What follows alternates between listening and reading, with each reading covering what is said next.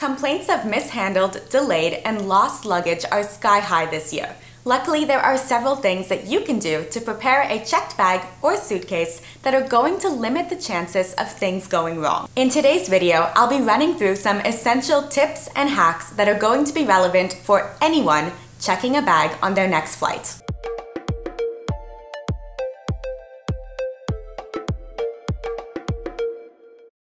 The first thing that you can do to prepare your checked bag for a flight takes place before you even zip your suitcase up, which would be to take photos of everything that you are packing. There are several reasons that you'll want to do this. The first is because if your luggage is lost and you need to make a claim with the airline or with your travel insurance, you will be able to show the contents that were lost and then increase your chances of actually receiving the compensation you deserve to replace these items. Another reason you'll want to take photos of the contents of your bag would be to be able to identify your belongings if the luggage tags on the exterior of your suitcase were lost.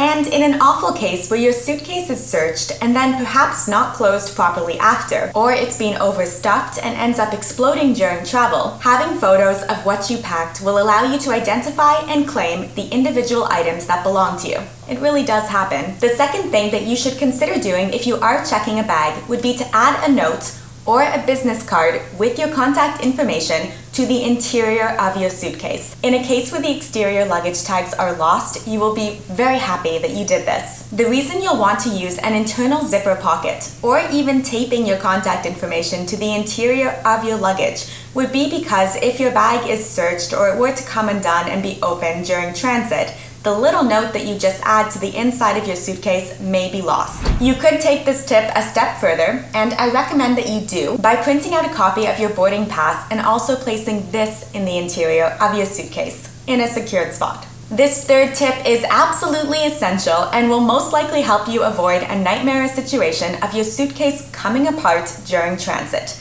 That would be to invest in a quality checked bag. I once checked a suitcase full of souvenirs from China it was a huge mistake to use cheap luggage as the zipper broke and all of the contents ended up scattered among other people's luggage. Everything was lost. Choosing to save a couple bucks by buying a cheap suitcase was nowhere near the financial loss and the added stress that that suitcase coming apart added to the trip home. The checked suitcase that I recommend is the Voyager by Level 8. This one has a TSA approved lock for extra security and to limit the chances of the suitcase popping open. It also includes compartments inside with wet-dry separation and has a unique handle design that is going to give you even more space inside. I'm very happy to have partnered with Level 8 on this video, and in addition to giving you free shipping to many countries around the world, you can also find a code to save 10% on your next purchase with Level 8 down in the description.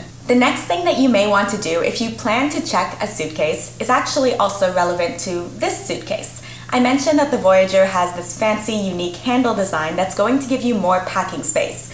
This is a huge benefit, but you are going to want to make sure that all of the space in your checked bag is filled. I'm not saying to pack more, but even just placing plastic bags to fill any gap when packing is going to help your items from shifting and potentially being damaged while your bag is in transit being tossed on and off the plane. You'll also want to do everything that you can when preparing your checked bag to limit the chances of having TSA open your bag and search it since they may not repack items properly or even close your suitcase fully.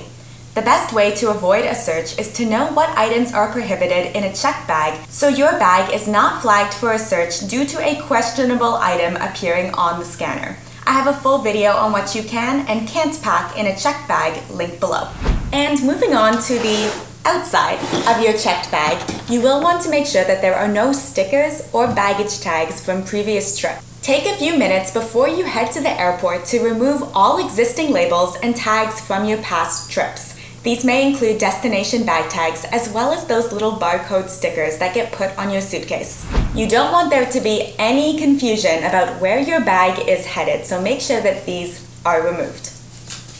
And then once everything from past trips has been removed, it's time to add your own unique identifiers to the exterior of your luggage, as well as a quality luggage tag. I like these ones from Level 8 because they have this little flap that's going to cover your contact information, so it's not all out on display as you go through the airport. And because check bags need all the help that they can get this year, I also like to use two of them. In addition to using luggage tags, try to make your bag as unique as possible with things that are easy to identify but also difficult to remove. A couple things I like to do would be adding stickers to my bag as well as tying on different ribbons. Another genius and very inexpensive thing that you can add to your luggage would be a luggage sleeve. There are several reasons why these are helpful in addition to just being super cute. It's going to help you easily identify your suitcase it's also going to help keep your suitcase held together and prevent it from coming apart in transit.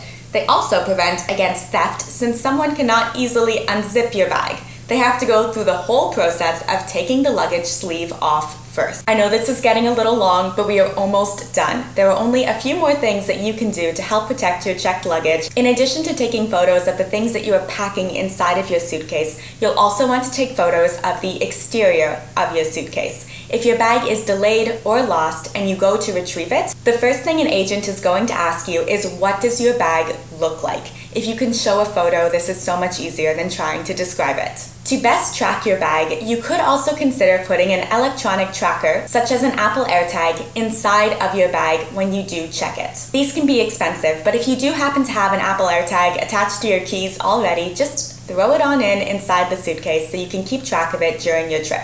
Just make sure you take it off of the keys as keys as well as any other valuables or things that you absolutely need should never go inside of a checked bag. Another way that you can keep track of your checked bag for free would be to download the airline's app. Many airlines now offer digital luggage receipts and bag tracking with their apps. So by having the app downloaded and ready to go, you may be able to keep tabs on your luggage throughout the trip.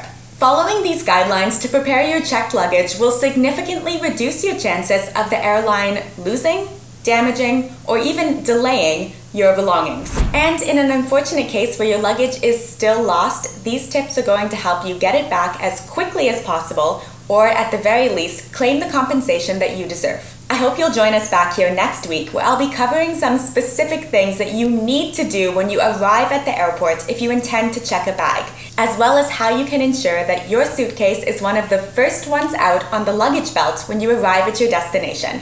Thank you so much for watching, safe travels, and I'll see you back here next week. Bye.